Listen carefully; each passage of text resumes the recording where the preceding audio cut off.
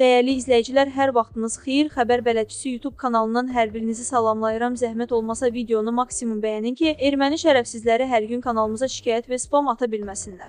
Sizlərdən xahişimiz hər kəs dəstək olsun və yorumlarda da Qarabağ Azərbaycandır yazın.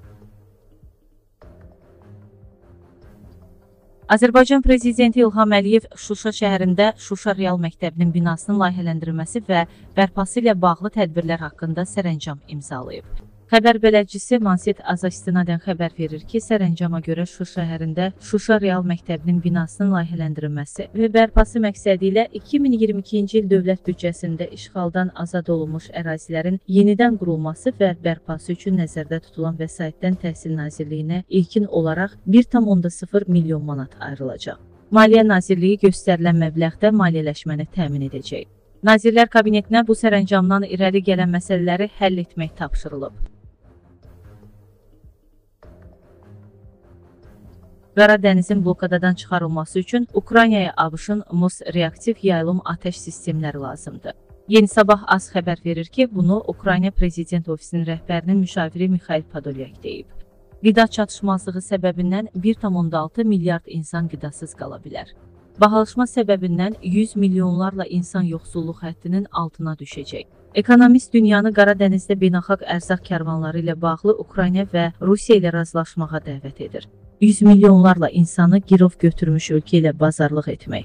Bizim daha yaxşı ideyamız var. Dünya Qara dənizin blokadasını açmaq üçün bu sistemlərinin və digər zəruri silahların Ukraynaya verilməsi ilə bağlı razılığa gəlməlidir. Qalan hər şey özümüz edəcəyik, deyə Podolyak bildirib.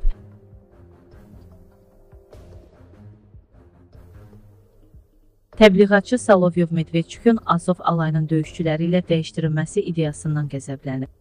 Konkret az xəbər verir ki, Twitter-in yeni rəhbəri Leonid Slutski Moskvanın Medvedçukun Azovla dəyişdirilməsi məsələsini araşdırdığını deyib. Biz Medvedçukun Azova dəyişdirilməsinin mümkünlüyü məsələsini araşdıracağıq. Twitter yox, Moskvada belə səlahiyyətlərə malik olan insanlar var, Slutski Interfax-a müsahibəsində bildirib. Bundan sonra Salovyov qəzəblənərək ona çox kəskin müraciət edib. Mənim Slutskidən çox böyük xəyşim var. Bu mövzuda daha heç nə danışmayın. Medvedçuku Azova dəyişək. Hansısa Ukraynalını Azova dəyişək. Bizim 400 əskərimiz Ukraynada əsirlikdədir. Bizimkilər hamısı azad olunmalıdır. Cinayətkarları dəyişmək. Bu mümkün deyil. Xalq bunu bizə bağışlamaz, Salovyov hiddətlənib.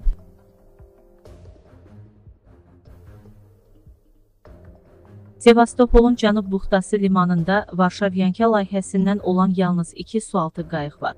Qalanları dənizdədir. Axar az xəbər verir ki, bu barədə Krım reali məlumat yayıb. Qara dəniz donanmasının tərkibində Varşavyanka layihəsindən olan 6 sualtı qayıq var. Hazırda onlardan 4-ü dənizdədir, məlumatda qeyd olunub. Bildirilib ki, Varşavyanka tipli sualtı qayıqların hamısı kalibr raketləri ilə təchiz olunub. Bu raketlərdən hər sualtı qayıqda 4 ədəd mövcuddur.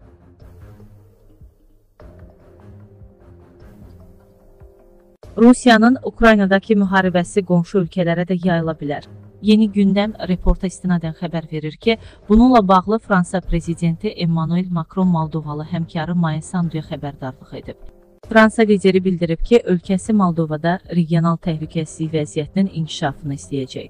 Dnestryanıda baş verən son hadisələr göstərir ki, münaqişənin qonşu ölkələrə yayılması istisna oluna bilməz, Macron bildirib. O əlavə edib ki, Fransa regional təhlükəsizlik ilə bağlı vəziyyətə və Moldovanın suverenliyinə və ərazi bütövlüyünə hər hansı mümkün qəsd halına xüsusi diqqət yetirmək niyyətindədir.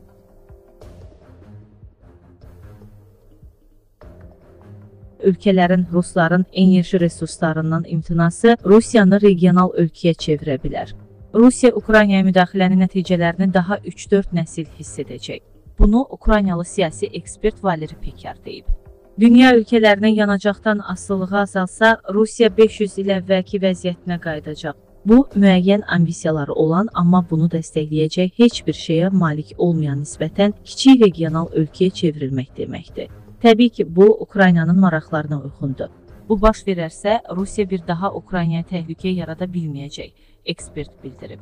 Pekar həmçinin qeyd edib ki, Rusiyaya qarşı embargoların əksəriyyəti Vladimir Putinin hakimiyyəti dönəmində qoyulub. Dünya liderləri arasında Rusiya iqtisadiyyatına ən çox sanksiya tətbiq edən Joe Biden, Olaf Scholz, Boris Johnson, Emmanuel Macron, hətta Volodymyr Zelenski deyil, mütləq stalinizmdir, Pekar vurğulayıb.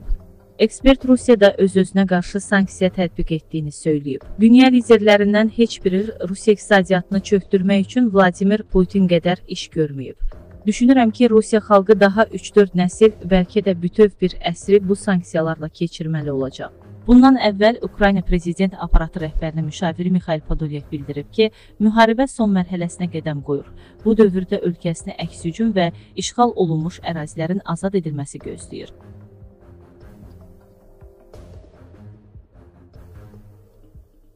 Qazaxda sərhədi pozmağa cəhd göstərən Azərbaycan vətəndaşları saxlanılıb. Bu barədə Dövlət Sərhəd Xidmətinin mətbuat mərkəzindən məlumat verilib bildirilib ki, may ayının 21-də saat 02:12 radələrində rayonun 2-ci Şıxlı kəndi ərazisində yerləşən sərhəd zastavasının xidməti sahəsində sərhəd naryadı tərəfindən Azərbaycanın Gürcüstan istiqamətində dövlət sərhədinin pozulmasına dəlalət edən əlamətlər aşkar edilib. Sərhəd zastavası dərhal silaha komandası ilə qaldırılıb, ərazi qapadılıb. Həyata keçirilən tədbirlər nəticəsində dövlət sərhədini pozmağa cəhd göstərən 5-i azyaşlı olmaqla 6 nəfər Azərbaycan vətəndaşı saxlanılıb.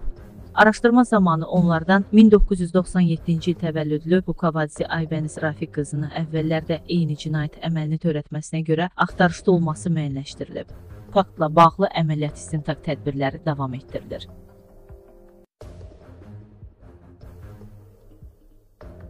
Sanksiyalara baxmayaraq, Rusiya Avropa ölkələri ilə neft və qaz ticarətini davam etdirir və məhz bu ticarət Rusiya prezidenti Vladimir Putinə təhlükəsizlik qüvvələrinə pul ödəməyə imkan verir.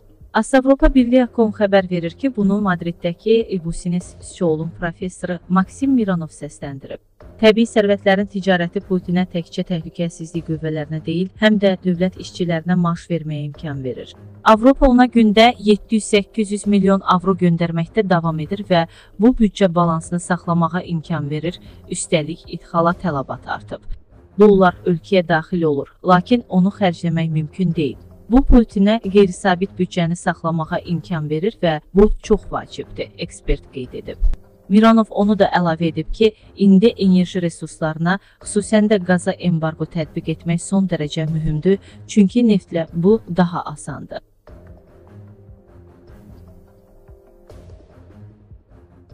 Əliyevlə Paşinyanın Brüsseldə növbəti görüşündən gözləntiləri üç kontekstdə dəyərləndirmək olar. Görüşün zərurəti nədir? Paşinyan hansı gündəliklə masaya əyləşəcək? Mümkün nəticələr nə ola bilər? Aprelin 6-sında keçirilən Brüssel görüşündə sülh sazişinin hazırlanması üzrə prosesin başlanması və sərhədin delimitasiya ilə bağlı birgə komissiyanın yaradılması, görüşlərin başlanması haqqında konkret razılaşmalar əldə olunsa da, Ermənistan praktiki mərhələdə faktiki heç bir addım atmadı. Avropa İttifaqı bu görüşdə razılaşmaların işləməməsinin səbəblərini aydınlaşdırmaq, praktiki mərhələdə işə başlamağın yollarını tapmaq niyyətindədir. Müzakirə ediləcək məsələlər də bəllidir. Sülh sazişinin hazırlanması, sərhədin delimitası üzrə komissiyanın işə başlaması və əsas məqam ötən görüşdən sonra nələrin dəyişdiyi və Paşinyanın buna uyğun hansı gündəlikdən çıxış edəcəyidir. 6 aprel görüşündən sonra Nikol Paşinyan bəyan etdi ki, beynəlxalq ictimaiyyət onlardan Qarabağın statusu iddialarında tələbi endirməyi tələb edir. İrəvan bunu Qarabağdakı ermənilərin təhlükəsizliyi və hüquqlarının təminatı olaraq dəyişir. Nikol yeni vəziyyəti açıqlamasından sonra aprelin 17-sində İrəvanda Qarabağ aksiyaları başlandı və hələ də davam edir. Aprelin 19-da Putinlə Paşinyanın Moskva görüşündən iki nəticə çıxırdı. Rusiya təşəbbüsün aya keçməsinə imkan vermək niyyətində deyil.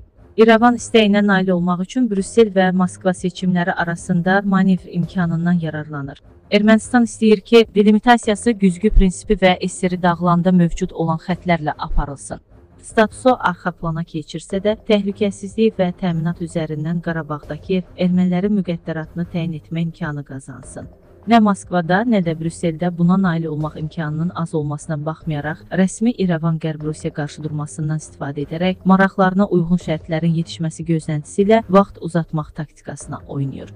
6 aprel 22 may görüşləri arasında baş verənlər fonunda Paşinyanın masaya iki mümkün istəklə əyləşə bilər. Birincisi, statusla bağlı aşağı salınması tələb olunan tələbə yenidən baxmağın zərurliyini. Nikol Qarabağ aksiyalarına əsas gətirərək bundan imtina etməyin ən azı indi çətin olduğu, erməni ictimaiyyətinin qəbul etmədiyi arqumentindən çıxış edə bilər. İkincisi, Moskva alternativinə işarə etməklə delimitasiya prosesində irəklərini irəli sürə, Brüsselin mövqeyinə təsir etməyə çalışa bilər. Bütün bunların fonunda görüşün praktiki mərhələdəki işə təsirinin az olacağı gözləntisi önə çıxır. Əliyevin razılaşmaların icrası üçün konkret tələblərlə çıxış edəcəyi bəllidir və istisna deyil ki, Bakı bu görüşə praktiki addımların atılması üçün diplomatik təmasların son şansı kimi baxır.